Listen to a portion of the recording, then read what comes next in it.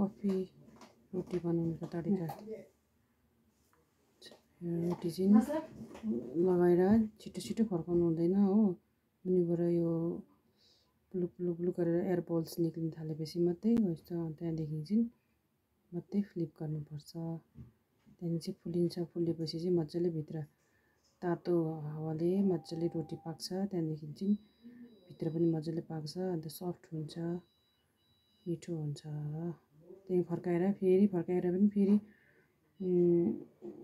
फेरि तलबाट भित्रबाट मुनिबाट पफ पफ त्यस्तो माथि उठ्नु थालेपछि मात्रै फोका फोका उठेर माथि उठ्नु थालेपछि मात्रै यस्तो फोका उठ्नु थालेपछि मात्रै त्यहाँदेखि फर्काउनुपर्छ। त्यहाँदेखि मात्रै त्यहाँदेखि प्रेस गर्नुपर्छ साइडबाट एउटा सफा क्लोथले साइडबाट बिस्तारै बिस्तारै फर्काउ प्रेस गरेर त्यहाँदेखि चाहिँ फुलिन्छ फुलेपछि मात्रै रोटीभित्र काँचो हुँदैन मजाले पाक्छ सफ्ट हुन्छ नरम हुन्छ।